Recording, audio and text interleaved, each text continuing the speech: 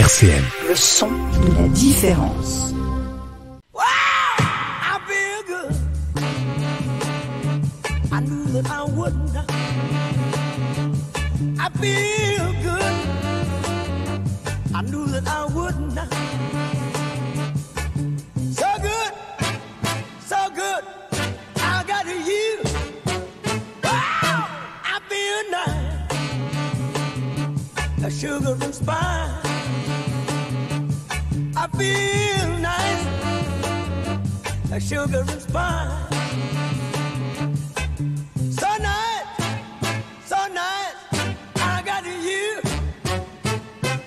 I feel Good sur RCN, Christophe Chevardet. Bonjour à tous, bonjour à toutes, très très très très très très heureux de vous retrouver. Après cette interruption, il nous fallait retrouver euh, le bonheur de partager des ondes positives avec euh, cette émission. I Feel Good, 30 minutes pour prendre le temps d'être à l'écoute euh, d'un homme ou d'une femme, cette fois-ci une femme, actrice d'un peu de mieux vivre et de mieux vivre ensemble. Par son engagement professionnel avec euh, euh, Nadine, vous verrez dans quelques instants, par son engagement aussi perso, bénévole, elle apporte un peu euh, de bien-être et de mieux vivre autour de nous et autour d'elle. I Feel Good spécial avec Nathalie Ste... Eh ben je l'ai raté, Nathalie Stöslen. So good, so good,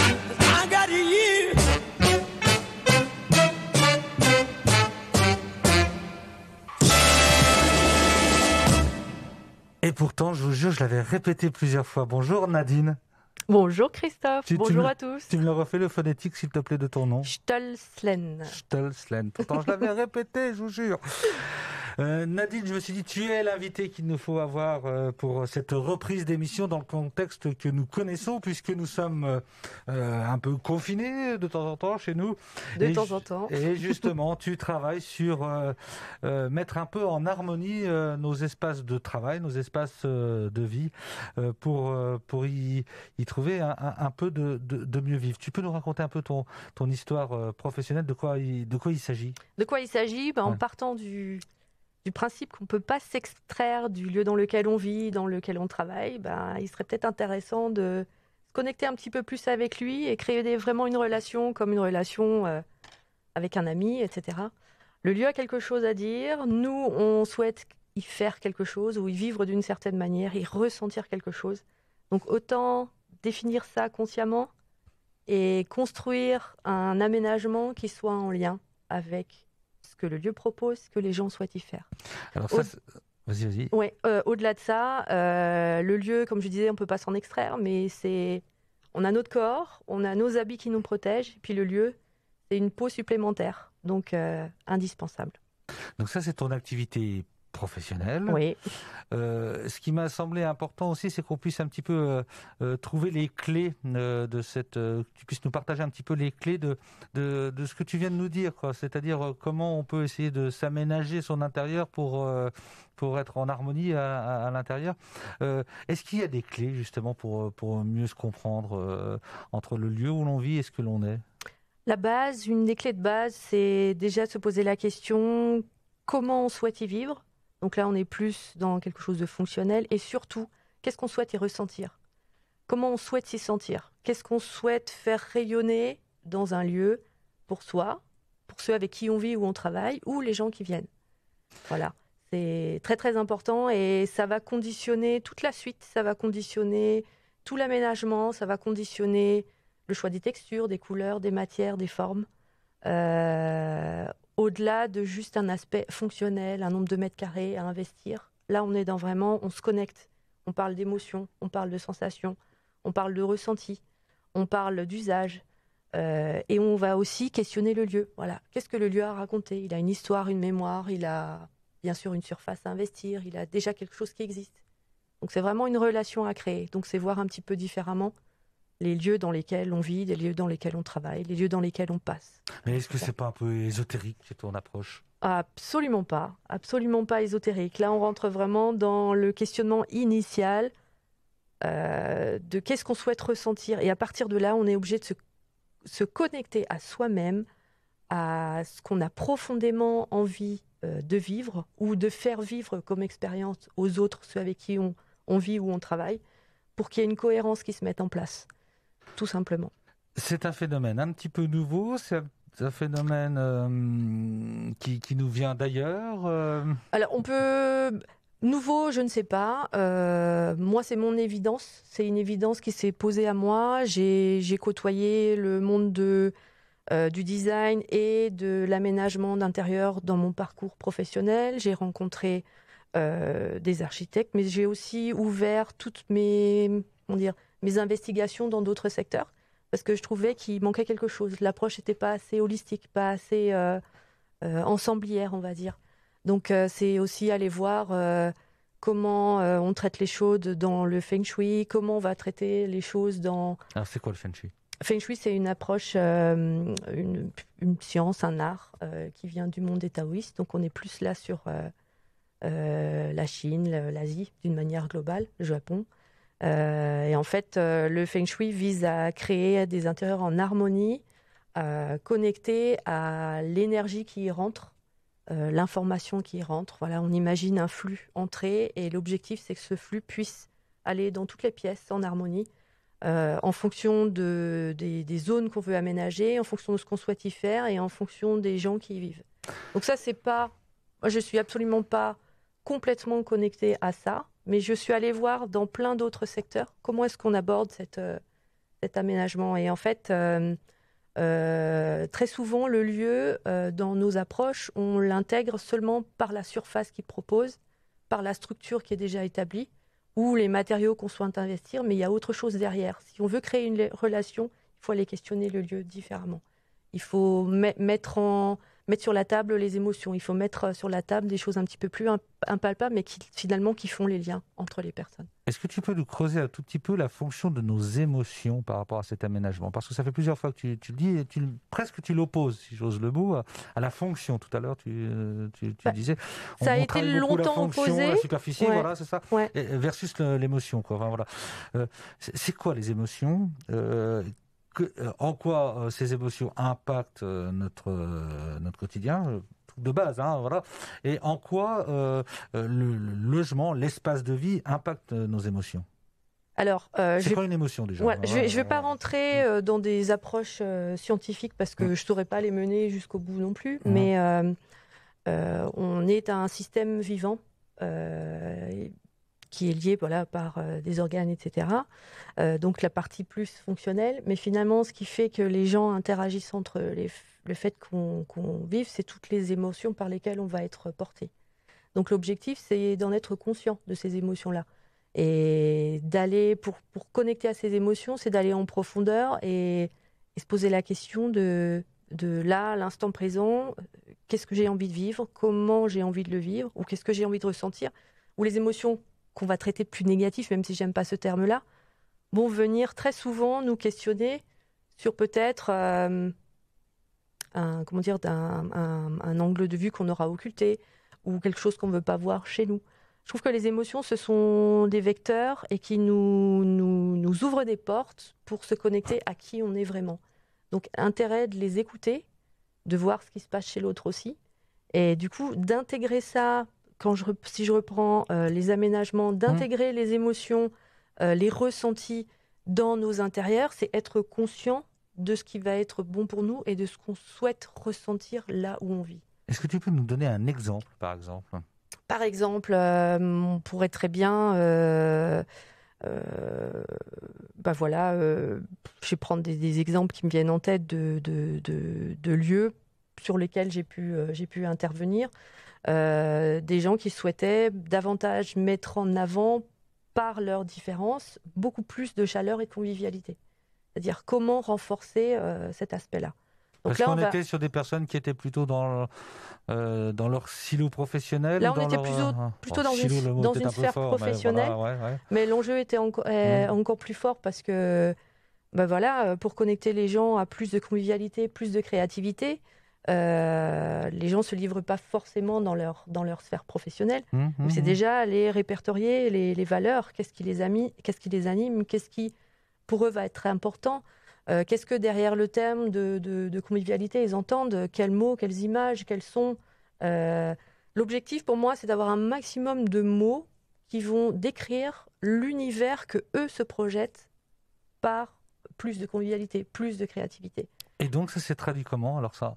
Ça se traduit après par euh, des, espaces communs créés de manière un petit peu atypique pour que les gens puissent euh, échanger de manière beaucoup plus rapide, euh, pour qu'ils puissent travailler autrement par le biais de la créativité, travailler en groupe, même si bon aujourd'hui il faut séparer un petit peu plus Ouais, les gens, ouais, ouais. mais travailler en groupe de manière beaucoup plus instinctive et en mettant en jeu les sens de manière beaucoup plus prégnante.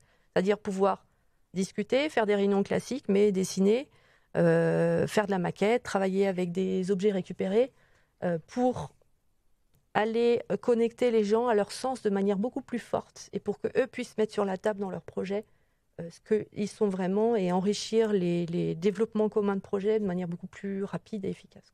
Alors on va revenir à la radio puisque euh, depuis que tu es là, on a évoqué très rapidement euh, l'aménagement de ce studio pour justement orienter différemment cette table. Attends, on a été témoin de Oui, cette complètement. conversation euh, euh, furtive, mais justement, elle appelle à une réflexion et ceux qui nous regardent euh, sur les réseaux sociaux en, en vidéo voient bien que eh ben, la communication avec notre notre technicien, très concrètement, elle est un petit peu plus difficile aujourd'hui. Quoi, voilà, quoi. Donc, euh, il faut qu'on il faut qu'on y travaille pour justement euh, tra- euh, travailler ces- cette harmonie.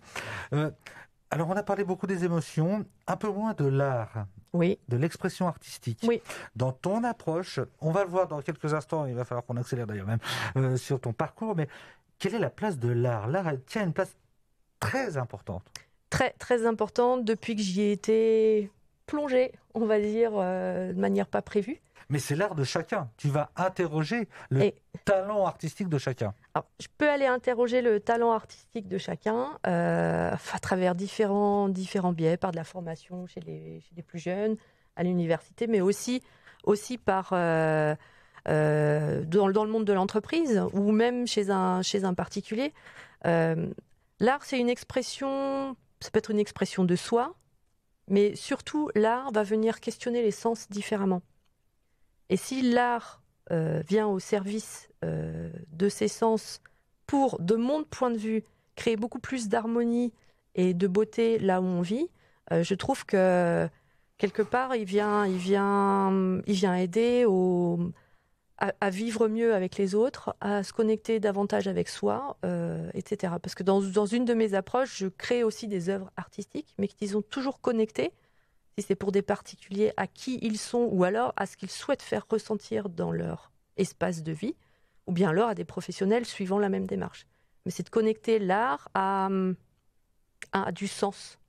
On peut très bien, euh, euh, les gens vont dire, bah oui, euh, on fait des toiles, on choisit l'une ou l'autre toile, et puis, et puis voilà.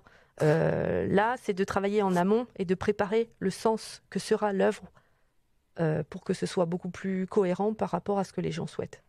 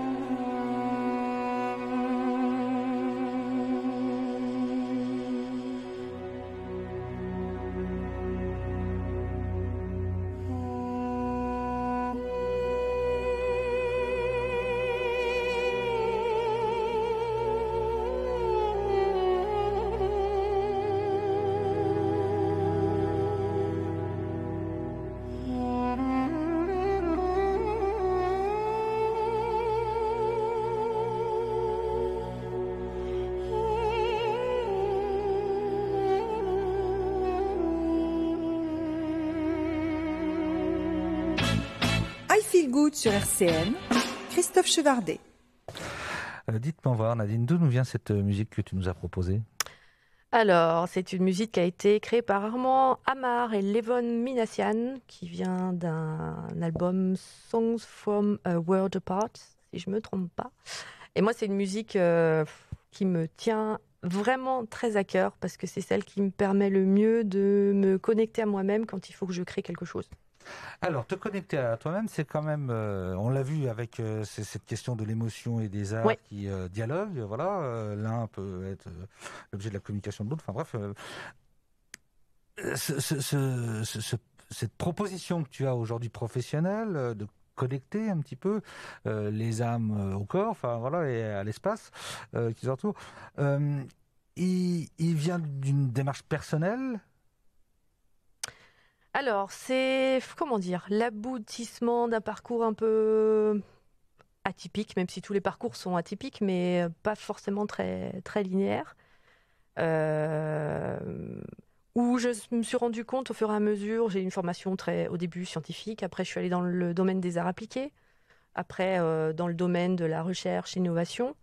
Et finalement, pour en sortir, parce que je sentais que j'étais plus connectée à qui j'étais, et que ce qui me manquait le, le plus, c'était la création. Et la création, je me suis rendu compte au fur et à mesure du temps que pour créer, il fallait que je sois euh, alignée, c'est-à-dire euh, vraiment connectée à moi-même et qu'il y a certaines, certains éléments sensoriels comme des musiques qui me permettaient d'y rentrer euh, de manière très rapide et profonde. Et, euh, et voilà pourquoi le choix de, de cette chanson, par exemple. Alors si je prends volontairement l'accroche euh, par l'aspect formation, on parle de former en géobiophysique appliquée, de génie industriel, hein, voilà, Oui. et en même temps on parle d'école boule. Alors est-ce que tout ça s'est raccroché à un moment? Tout, Comment ça s'est Comment la, la rencontre de ces sciences s'est faite dans ton parcours de formation et puis professionnel Alors, de formation, euh, tout n'a pas forcément été des vrais choix au début. Euh, j'ai eu certains non-choix parce que j'étais bonne en classe et que du coup, bah voilà, fallait suivre les filières euh, qui laissaient le plus de portes ouvertes. Et puis un jour, euh, Ça, tu en as voulu un petit peu de, de- ces non-choix? Tu, tu en as voulu à, je sais pas qui, à tes parents, à toi à- pas du tout. à une période, je m'étais dit, oh là là, mais t'as perdu ton temps. Parce que finalement, là voilà. où je me sens vraiment connectée, Voilà. c'est quand je suis dans les arts appliqués, Ouais. clairement. D'accord. Mais Mais c'était pas venu au début, ça. pas du tout. Voilà. Euh, Donc il n'y a pas ce sentiment de regret, en fait. Il n'y a pas de sentiment de regret. Euh, pendant une période, je me suis dit, j'ai perdu mon temps. Ouais. Et en fait, maintenant, je ne dis pas du tout. C'est un tout. C'est des approches pourquoi, alors, voilà, très ouais. complémentaires. Ouais. On est, euh, voilà, si je reprends des analogies, on est d'un côté sur le scientifique, le fonctionnel, le rationnel, l'analyse, et de l'autre côté, on est dans la créativité, dans les émotions, dans le ressenti, dans, dans la joie, etc. Et finalement, ça correspond aussi à, à notre fonctionnement du cerveau. Alors, on je- est tout ça en même temps. Raconte-nous Nadine, c'est-à-dire euh, plutôt bon élève, tu commences à nous dire, c'était voilà, ça, ça, ça, ça se passait bien. Oh oui, euh, voilà, collège, Tu- voilà. Voilà, tu suis euh, en région parisienne, non ici Euh, non, en Alsace. En Alsace. Ouais. Tu suis un parcours qui va bien scolairement, donc Oui. voilà. Très bien. Tu arrives à la fac, c'est ça, grosso modo? Pas du tout. Non? Pas du tout. Euh, en fin de terminale, euh, j'étais dans les maths, la physique, la mécanique, l'électronique, et puis euh, pff, je voyais pas du tout ce que ce que j'allais faire. Enfin, c'était que des choix par défaut, fac de maths, etc. Et puis un jour, mon prof de dessin, j'avais gardé une heure de dessin par semaine, me lance un papier, et me dit ça t'intéresserait pas ça, à toi. Alors je sais pas s'il a eu une lumière, mais ça m'est tombé sous le nez. Et c'est une formation qui permettait de réintégrer toutes les formations d'art appliqué et qui m'ouvrait du coup euh, tous les BTS, les diplômes supérieurs euh, en art appliqué. Et je dis ah moi je savais même pas que ça pouvait exister. J'ai lancé, euh, il me restait deux jours pour tout remplir, pour tout terminer, pour faire mon dossier. Et après tout s'est enchaîné, mais tout s'est ouvert, tout a été très fluide. Et là, à partir de ce moment-là, euh, j'ai une partie de mon cerveau qui s'est complètement ouvert. Et donc c'était pour aller où?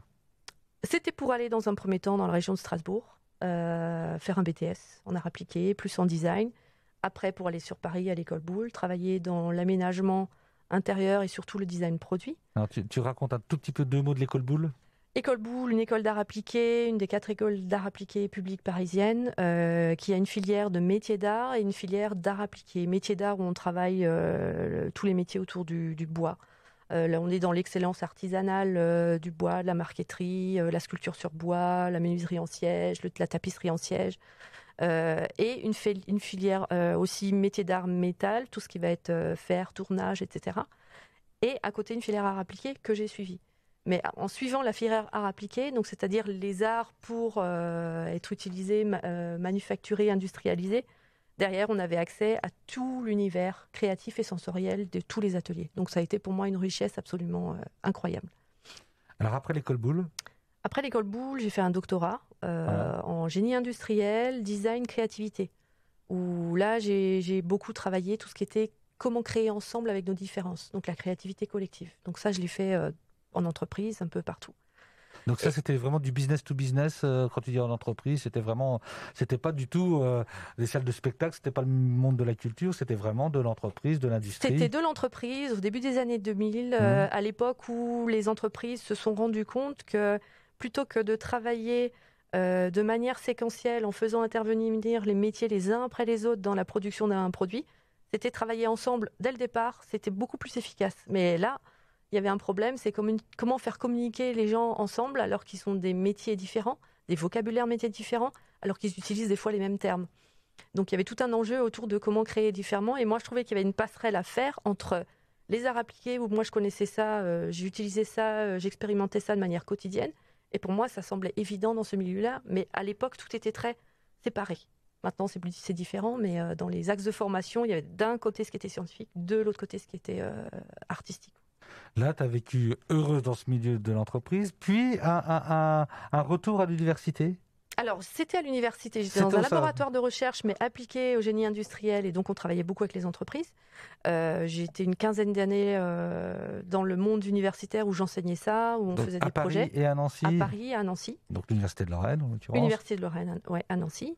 Et euh, au bout d'un moment, euh, je sentais que je, je- je commençais à mourir à petit feu, on va dire. Mais ça, c'est vraiment moi par rapport au système dans lequel j'évoluais. Mais tu as pris ton pied en même temps, c'était un moment où... euh, C'était un moment Voilà. dans les axes de formation, dans transmettre ça, Ouais, cette, euh, ouais. cette niaque aux étudiants, euh, j'adore ça toujours. Ouais, Euh. Mais la structure universitaire me correspondait pas, moi. Mais ça, je l'avais pas identifié. Alors quel signe, quand, quel signe t'as reçu quand tu, que tu- tu as identifié, euh, te disant, oh là, ça, ça commence à, à pu aller pour moi dans ce... de l'ennui et je sentais que j'avais plus de créativité en moi. Je, je- ce qui me faisait vibrer, bah, ça s'éteignait petit à petit. Un peu comme à l'école, tu l'as pas dit là, mais en préparant, on l'avait dit, à l'école Un tu avais... peu ce- quand j'étais dans, ouais, dans les filières euh, scientifiques, etc. début, euh, euh, ça allait bien, mais c'était pas mon truc, quoi. Il me manquait quelque chose. J'étais pas connectée à moi, en fait. J'étais complètement déconnectée, mais sans le savoir. Donc là, la fin d'un cycle parce que l'ennui était là. Oui, parce que je pense que j'ai fait des choix plus euh, portés par le côté sécurité, euh, plutôt que des choix profonds connectés à qui j'étais et à ce que je pouvais vraiment foncièrement transmettre aux autres. quoi. Alors, tu étais dans la sécurité d'un d'un job sûr quand même. euh, Exact, j'étais fonctionnaire. T'étais fonctionnaire. Et, Et- puis, du jour au lendemain, après plusieurs circonstances euh, voilà, qui font qu'à un moment donné, on se trouve à un carrefour où il y a l'étincelle qui se fait, et puis où on se dit, bon voilà, euh, maintenant, il faut vraiment, vraiment mettre tes tripes sur la table et faire ce qui te passionne. Parce qu'un jour, j'avais aussi reçu, je pense que ça a été le démarrage, un courrier, euh, retraite. Il vous reste tant d'années à faire euh, jusqu'à votre retraite. Et là, je me suis dit, non, mais faut que je me trouve quelque chose qui me passionne. Parce que compter le nombre de jours jusqu'au week-end et compter le nombre de semaines jusqu'aux vacances, c'est pas une vie. Donc, l'idée, c'était de ne plus travailler, mais d'œuvrer pour quelque chose, avec une finalité beaucoup plus grande. Et je pense que le démarrage, inconsciemment, il a démarré là. Il a vraiment démarré avec, euh, avec ce courrier. euh, et c'est lui qui a. Après, ça m'a pris 3-4 ans. euh, tout le cheminement personnel. D'accord. voilà, ça s'est mis en Un place peu de temps quand même. ça s'est mis en place parce que ça se... j'en étais pas consciente au début, ça se mature. Mais voilà, c'est. Je pense que ce qui est essentiel, c'est de se connaître, savoir quelle est notre propre excellence, pas du côté égotique, mais une excellence tout le monde a la, a la sienne. Et finalement, ça, l'objectif, c'est de le transmettre aux autres pour que, euh, d'une manière beaucoup plus globale, le monde aille mieux, tout simplement, quoi. Et c'est donc là que tu as créé euh, ta société Harmonia. Oui. Euh, qu'on peut découvrir sur harmonia.com. L'harmonie des lieux et du vivant. Oui, c'est comme ça. ça. que tu définis. C'est-à-dire. C'est- C'est-à-dire créer des espaces de vie en lien avec ce qu'on souhaite y ressentir, qui on est, ce qu'on souhaite y faire, ce que le lieu propose. Donc voilà, c'est ce côté très, très, très créatif et en recherche d'harmonie, je l'applique sur les lieux, je l'applique sur les- la création de lieux, sur la créa- création d'œuvres artistiques Voilà. ou tr- faire travailler les gens ensemble. Donc c'est toujours connecter cette harmonie à un lieu et à du sens, à de l'émotion. Tout ça, foncez sur le site euh, de Nadine, vous allez euh, le découvrir euh, plus, plus, plus, plus précisément. Nadine, on arrive déjà à la fin de notre émission, ça Oui. passe tellement vite. Super vite. Trois, trois dates importantes dans ta vie, tu n'y couperas pas. Trois dates importantes. La première, euh, ce sera mon entrée dans les arts appliqués, parce que j'ai eu l'impression de vivre tout court. On voit bien que c'est ce petit, ce, ce petit mot de ce prof là, ça, ça, ça a changé tout quoi. Ça a tout changé. Tout Mm. changé dans ma vie. J'ai appris à regarder, à observer, à ressentir. Deuxième date importante. Deuxième date Il y importante, en a deux en fait. euh, beaucoup plus personnelle, mais c'est toujours en lien avec les, les- les ressentis, les sensations, euh, les émotions. C'est les fois où j'ai ressenti mes filles la première fois quand elles étaient dans mon ventre. Voilà, ça, ça a été euh, une connexion absolument euh, géniale. À la question de tout à l'heure, de tout début d'émission, tu fais le lien à la fin, c'est ce lien sensoriel en fait, euh, où je te demandais c'est, Ouais. qu'est-ce que c'est que ces émotions? C'est ça, c'en est une qui t'a révélé. Bah, ce qui m'a fait encore plus me connecter à mes sens. Et euh, il faut être connecté à ça pour euh, aller chercher notre joie intérieure et qui on est vraiment. Et, Et c'est comme ça qu'on peut être bien, je pense. et ta troisième date, elle est quand même sacrément gonflée euh, à l'heure actuelle. euh, C'est alors qu'on parle de zone de confort, c'est. Ah oui, c'est quand je suis sortie complètement de ma zone de confort et que j'ai lâché euh, le travail sûr que j'avais pour créer vraiment. euh, j'ai mis sur la table en mots tout ce qui me plaisait et j'ai essayé de construire un fil conducteur avec ça. Mais c'est même un peu plus que quitter une zone de confort, c'est se mettre un peu en insécurité quand même. Oui, je t'avouerai qu'il y avait des moments qui n'ont pas été faciles du tout.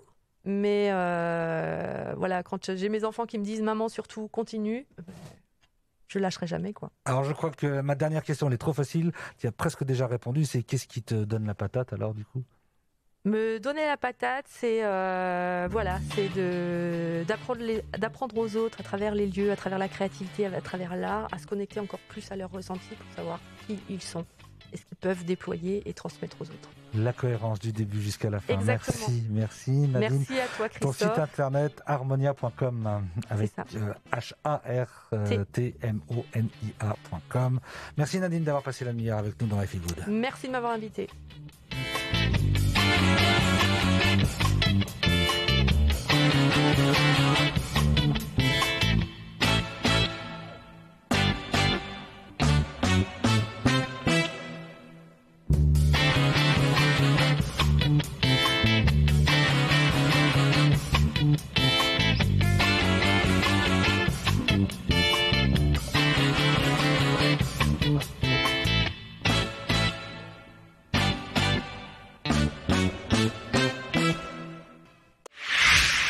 RCN, www.rcn-radio.org.